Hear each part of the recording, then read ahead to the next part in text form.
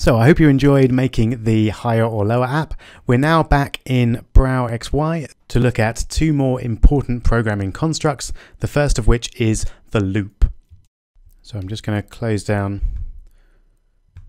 those windows and create a new one with some hello world code.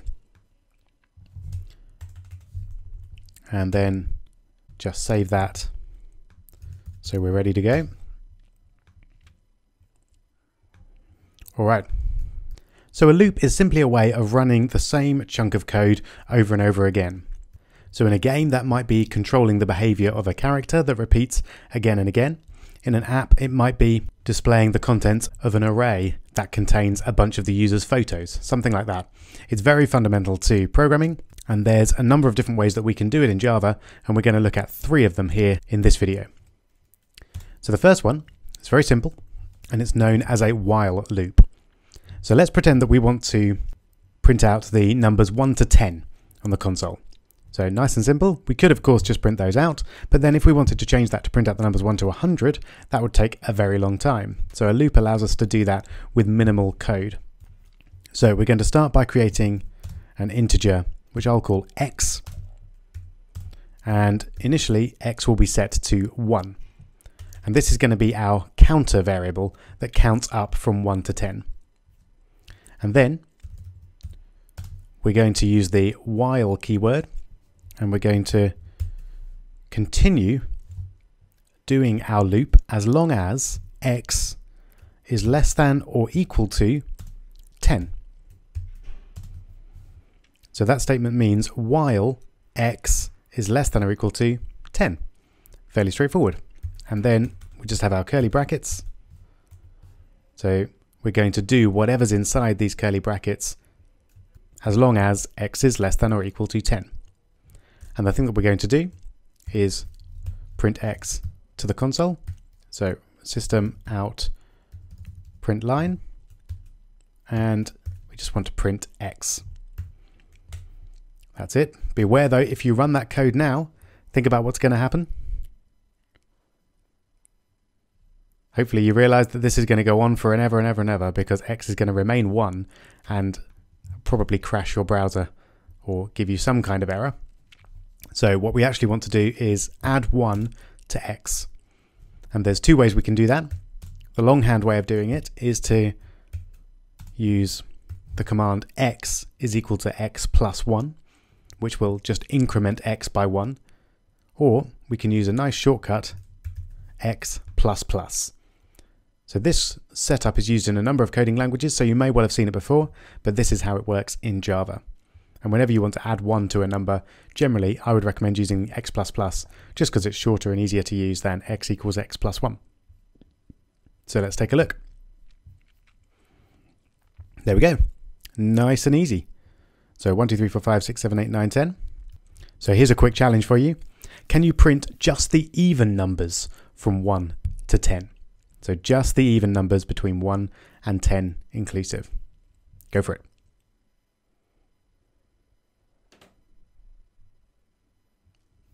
Hope you figured it out. There's a number of different ways to do it.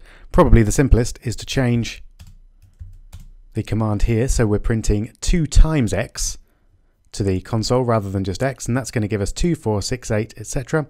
But that, of course, would take us all the way to 20, and we want the even numbers from 1 to 10, so we just change x to go up to and include 5. There we go. Hope you managed that. 2, 4, 6, 8, 10. There we go. So that's a while loop. The next one we're going to look at is a for loop, which is very similar, but it just keeps everything together in quite a neat way. I'm going to leave the while loop there because we're going to create the same thing, but in a for loop. So to use a for loop, we use the for keyword. And then this time we create our counter variable inside the instruction for the loop. So this time we're going to create a variable int. I'll call it y this time. And we'll set it to 1 initially. So int y is equals to 1. And then we use a semicolon, even though it's not quite the end of the command yet, it's just the end of that bit of the command. So initially we're going to set y to 1. we're going to carry on as long as y is less than or equal to 5. So exactly the same as before. And each time we run the loop, we're going to add 1 to y. So that's y plus plus. And that's all that we need to set up our for loop. Then we have our curly brackets. And same as before, we're going to have system out print line y times 2. There we go. And if we just run that, we'll see that it displays 2 4 6 8 10 and 2 4 6 8 10 again. So almost always you can choose whether you want to use a while loop or a for loop. I, to be honest, find myself using while loops most of the time, but you'll probably have your favorite and you really can choose whichever you like depending on the situation. So let's just mess with these a little bit. I'm going to get rid of the while loop for now. So what if we wanted to do things in the opposite order? So we wanted to go 10, 8, 6, 4, 2. Well, as you can imagine, we start with y is equal to 5. We keep going as long as y here I'm going to put greater than 0. So we keep going as long as y is greater than 0. And instead of adding 1 to y each time, we subtract 1 from y each time. And then if we run that, we'll find that we start off with 10, there we go, and then we subtract 2 each time because we're subtracting 1 but then doubling it. All right, so I'm going to give you a couple of challenges this time. You can choose which one to do. There's an easier challenge and then a harder challenge. The easier challenge is to choose whichever loop system you like and display the first 10 multiples of 3. Okay, fairly straightforward. You can do that if you like. If you want a bigger challenge, then create a loop that will display the first 10 triangular numbers. And I'm not even going to tell you what the triangular numbers are. Part of the challenge is to go and find that out for yourself. So if you want a nice basic challenge, go for the first 10 multiples of 3. If you want more of a challenge, then create a loop to display the first 10 triangular numbers. Whichever one you go for, good luck. Go for it.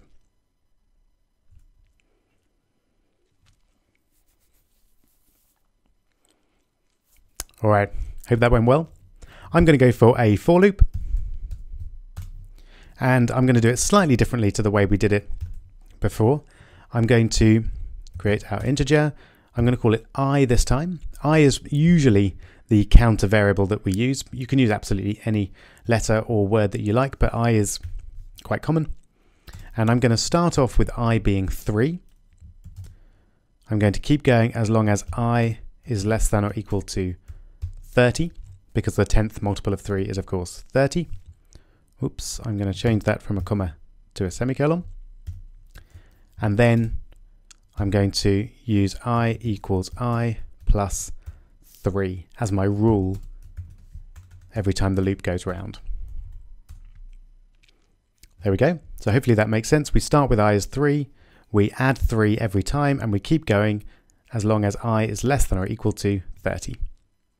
And if we do it that way, then this line just becomes system out println i. Simple as that. So let's take a look. 36912, fantastic, all the way up to 30. Brilliant. So whichever way you did that, well done. For the tougher challenge then, let's get rid of that. And we want to now print the first 10 triangular numbers.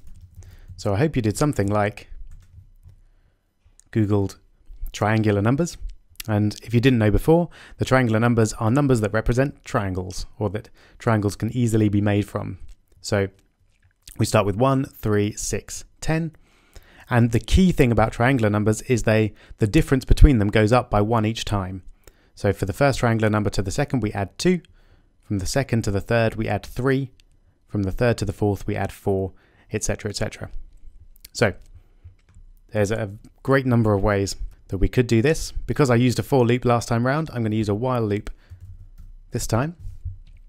So let's start by defining my x. We'll start with x is equal to 1.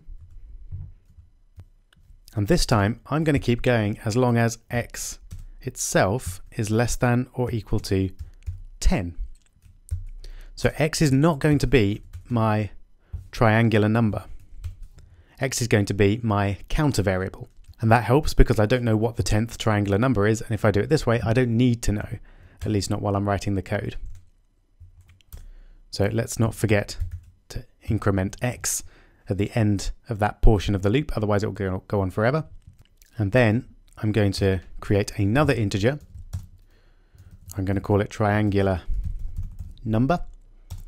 And my first triangular number is equal to 1. So I'll save that there. And then in my loop, I'm going to print triangular number to the console. So, so far, this is just going to print 1 10 times. So to make this into the triangular numbers, remember I need to add on 2 first time, 3 the next time, 4 the next time, 5 the next time, etc. So if I go down below the point where I've incremented x, so x the first time round is now 2, and then it's going to be 3, and then 4, and then 5, and that is of course the number that I need to add to triangular number to get the next triangular number. So I can just use triangular number equals what it was before, so triangular number plus x. And then next time round, when it loops round, it will print the new triangular number, which will be the next one in the sequence. That's it. That's my solution. Let's just have a look and make sure that that works. 1, 3, 6, 10, 15, 21, 28. Fantastic. Those are indeed the first 10 triangular numbers. Great, I hope you managed to do one of those two challenges. Particular congratulations if you managed to do the trickier one. Now let's get rid of that because I'm going to show you the third type of loop, and that is looping through the contents of an array. And that's a really useful thing to be able to do. To use the example that I said earlier, we'd have an array of a user's photos, and display all of those using a loop. So very mini challenge for you. Can you create an array containing the names of the people in your family? So just three or four. If you've got more, feel free to put them in, but just three or four names to be working with. Go for it.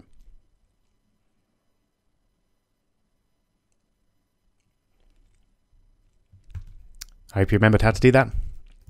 So they're strings and we use these square brackets to show that we want to create an array. I'm going to call my array family members and then we set it equal to and we're going to use curly brackets to create the array and here I go so Rob, Kirsten, Tommy and Ralphie and then a semicolon.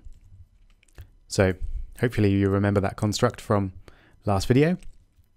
Now to loop through that, one thing that we could do would be to use a for loop and just keep going as long as we were in the loop, but there's a much quicker way of doing it, and that's to use what you might know as a for each loop. So it just loops through everything in the array. So the way we do that is we use our for command, and then we want to create a variable that will be the name each time round, each time we go through a particular member of the array. So that's going to be a string, and I'll call it name, and we're going to get it from the array family members. So that's a new kind of construct that we haven't seen before, and it's quite specific to this particular setup. So for, and then we create our variable name, which is a string, and we're going to get that from the family members array by looping through it. And then we can access the variable name in the middle of the loop, just in the usual way. So system out print line and name. That's it. So let's take a look. There we go. So that's looped through the whole of the array and allowed us to access each value within it. The last thing I want to show you is how to do this with an array list. So a final little challenge for this video, can you change this code so instead of creating an array like we've got here, it creates an array list called family members and then adds your family members to that list and then run the code and see what happens. Good luck.